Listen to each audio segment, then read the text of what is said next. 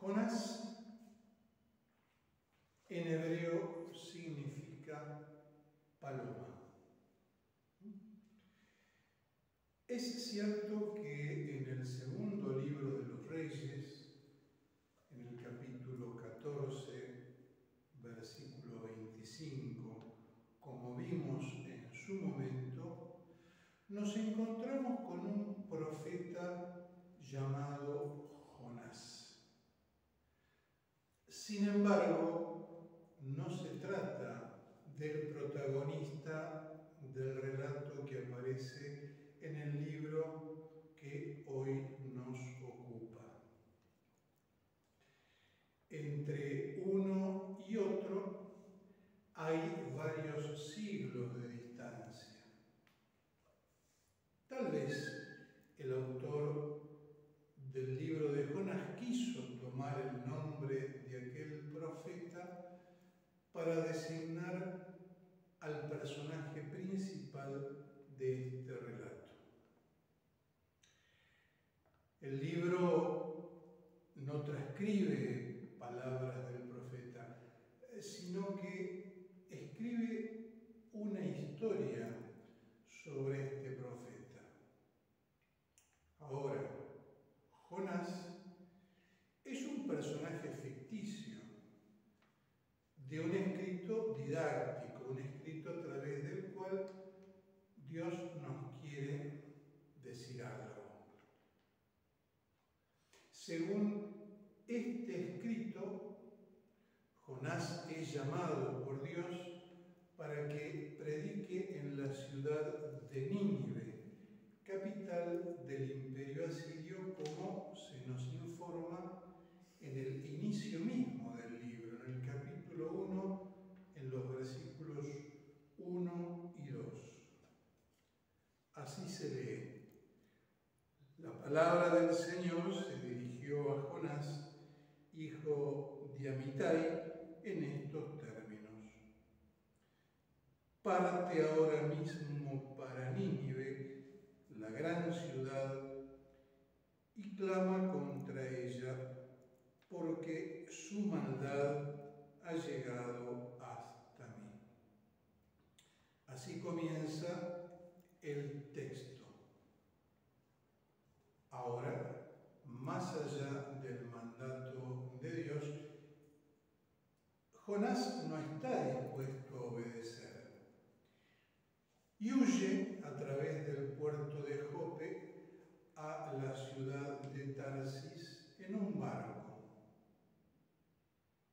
Pero Dios envía una gran tempestad que provocó un gran terror entre los marineros.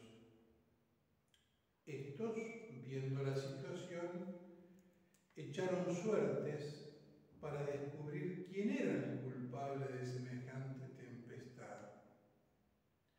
Y Jonás fue acusado y entonces fue arrojado al mar.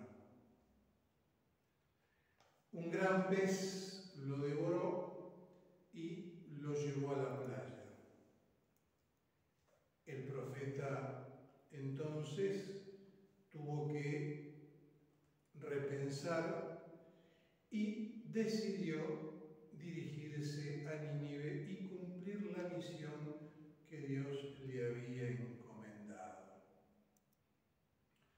Su prédica fue exitosa, ya que los ninivitas se convirtieron.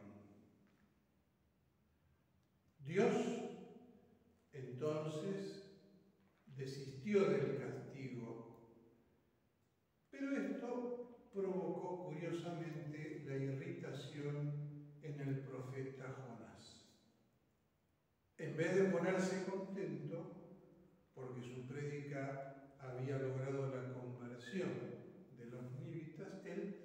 se irrita. Dios tiene un diálogo con él hacia el final del texto, donde le enseña que la salvación es para todos los pueblos y no solo para el pueblo elegido, al que pertenecía Jonás. ¿Por qué Jonás no quiere obedecer a Dios?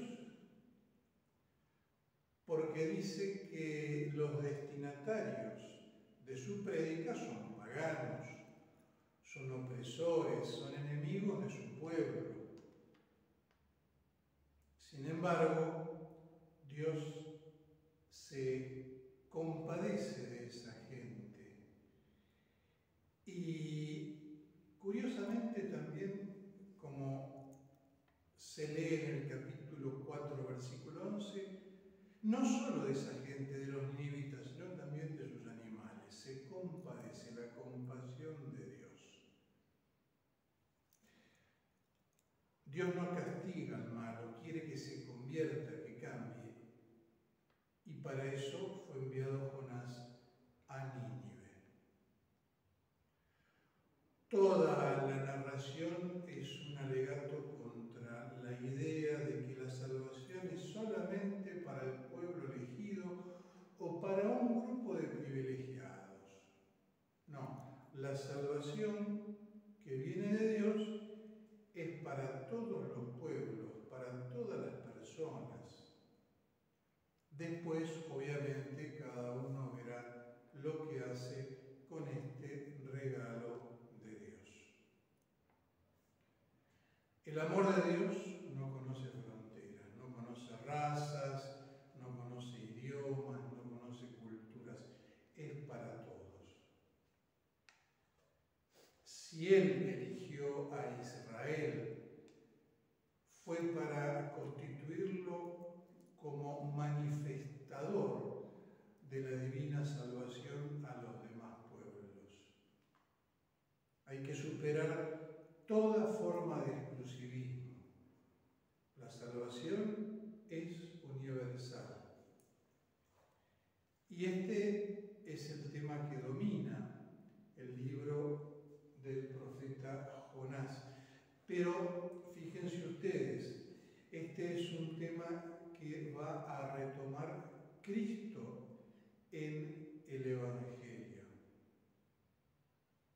Además, Jesús refiere a su propia persona lo del signo de Jonás. Lo podemos ver en el capítulo 12 de Mateo, por ejemplo, en el capítulo 11 de Lucas.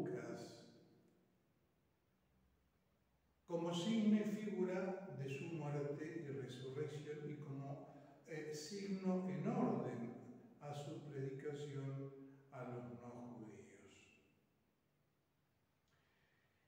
Esta es una obra cargada de humor y de ironía que corresponde a la época del post-exilio, escrita entre los años 400 y 200 antes de Cristo.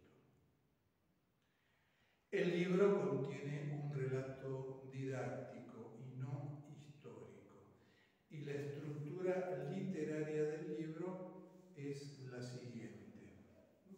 Cuatro partes.